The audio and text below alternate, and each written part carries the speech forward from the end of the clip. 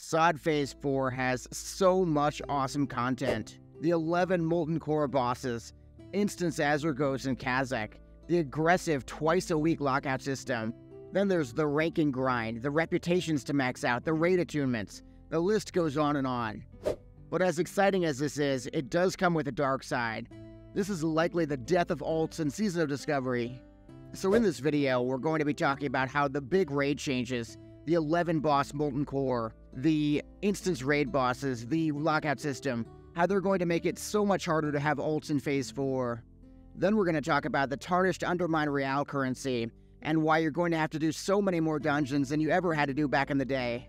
Then we're talking reputation and rank grinds, and why these are going to be taking up so much of your time in Phase 4. Finally, we're talking community reaction on both sides of the issue. So in a recent Phase 4 preview video from the Blizzard devs, they really dropped a bombshell the endgame raids are going to be on a twice a week lockout, and that means they're going to reset on Tuesdays and Saturdays. MC will be once per week, but still 7 raids a week per character. And these aren't your standard classic raids either. Molten Core is cranked up to 11 bosses, with two additional difficulty modes as well. It's a safe bet that with the extra boss, a casual guild might take an entire night to clear Molten Core. Meanwhile, the sweaty guilds, they're going to be spending quite a bit of extra time progging the difficulty modes in Ragnaros. On top of Molten Core, we're also getting instance world bosses for Azuregos and Kazzak. If you're keeping track, that means you're all the way up to 7 raids per week per character. In fairness, when I brought this up on my stream, a lot of people said you don't really have to do all 8 raids a week, you could miss some lockouts. But honestly, is anybody gonna want to miss a lockout? You might be missing your Thunderfury or your Hand of Rag and you never see it again. Unfortunately, as WoW players, our brains are just kind of forced to do all the lockouts. And Blizzard really isn't helping either. They're stoking the flames by promising over a thousand new and updated items. That's the new tier sets that every single player is going to want to complete. And I know I wouldn't want to miss a lockout for the newly buffed weapons as well. Look at the key to the city. Makes Staff of Domination look like a child's toy. Now, don't get me wrong, the Phase 4 news is pretty much the best WoW stuff I've seen in a long time. The devs are doing a great job. But I do worry that it might be too much too soon and it might burn some players out. For reference in Cataclysm, just hitting those three raids a week, it really takes up all my free time. But now in Phase 4 of Season of Discovery, we're probably raiding every single day, which means there's barely any time for alts. So another bombshell that Blizzard dropped is that in Phase 4 we're getting access to every single dungeon, including Blackrock Depths and even Dire Maul. Across the board as well, dungeon drops are going to be updated, including a newly improved Ironfoe. And that won't be the only rare weapon to farm either, as rogues are definitely going to want to get their Felstrikers too. On top of the new items, there might even be an entirely new dungeon coming as well. That dungeon would presumably contain even more pre-bis to farm, though the details were really vague at this point. As a Classic fan, this is amazing news to be finally getting a new dungeon in Classic style, but it is a whole lot when you combine it with all the other systems that we're going to be doing. Take the new currency we'll be farming called the Tarnished Undermine Reals. These are going to be dropping in every single endgame Classic dungeon. Then that currency is going to be used to buy different pre-bis items. So we've seen this drill before in Wrath of the Lich King, but we've also seen pretty much the exact idea with Wild Offerings. It's pretty clear to me that this would be bringing back the World Tour idea from back in Wrath of the Lich King, which some people liked, but other people thought was a little too overwhelming. Personally, I really enjoyed doing those World Tours in Wrath, but when you think about doing them on three or four alts, it becomes really overwhelming really fast.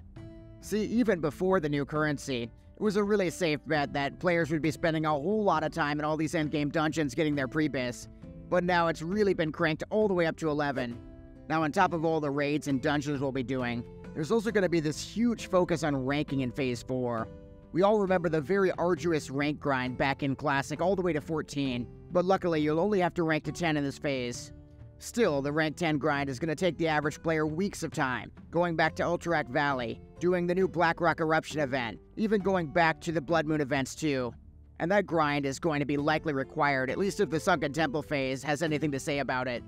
I know my rank 7 set practically carried me through Sunken Temple, and I still wear the pieces today. But it's not just ranking we'll be doing either. Blizzard is also promising new recipes for factions like Argent Dawn and Hydraxian Waterlords. These are really time-consuming grinds, And even doing them on a main character is a lot to ask. But imagine some people doing multiple Argent Dawn rep farms, two, three characters. It's insane. It's just a really big ask when we're going to be farming our Prebis gear. We're going to be doing seven raids a week, and we're going to be doing the Blackrock Eruption event every two hours. So the Blizzard devs are definitely aware that Phase 4 has an insane amount of content. That's why they're making a few very unprecedented changes to some of the game systems. The first system change is how they actually plan to roll out the phases. So on July 11th, we'll be getting access to all the Phase 4 new content, except we're not getting any of the raids. Then on July 18th, we'll be getting access to the new World Boss raids, and finally on July 25th, we'll be getting Molten Core and Onyxia. So the main idea behind this is that you're giving players way more time to farm their Prebis gear. It's also an admission from Blizzard that once the raids come out, there really won't be a lot of time to do anything else. The last thing Blizzard's trying to do to make the phase alt friendlier is the Blackrock Eruption event itself. So if you're in the mountain, you're going to get 300% honor, which makes this an amazing event for getting to rank 10 really fast. Meanwhile, if you're out of the mountain, you can do all these different daily quests every single day. You can get nearly 2,000 Thorium Brotherhood rep and 2,000 Hydraxian Waterlords. It's going to be a really nice way for us to get a bunch of rep on our alts. So with all the Phase 4 content announcements, we got quite a bit of community feedback as well on both sides of the issue. The first big tweet came from content creator Sarth, and it's concerned about how very sweaty players are actually going to finish the rank 10 grind very early on, which means that the Blackrock PvP, the Blood Moon PvP, the Battlegrounds, they may not have a huge population in Phase 4. Now, while this is definitely valid if you only play one character, if you have a lot of alts, I do think you're going to have more than enough PvP content. Then there was a forum post from a Grend talking about the raid lockout system and how they're moving it from 8 lockouts a week to 7. Now, personally, I still think 7 lockouts a week is a little bit excessive, especially if you play a bunch of alts, but we'll just have to wait and see. We also got a really unique suggestion on Reddit from Appropriate, and he thought of the idea of using the Tarnished Undermine Real currency to be able to purchase different world buffs. I just really thought that was a unique idea. I'd love to hear your thoughts in the comments. So we've talked about how the aggressive raid lockout system could impede your ability to play alts.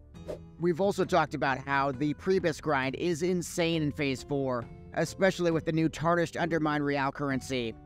And we covered how the ranking and the reputation grinds are going to be pretty alt unfriendly in Phase 4. But we did also cover how Blizzard is looking to try to fix some of these issues, and they're really focused on all the little things to make Phase 4 as good as possible.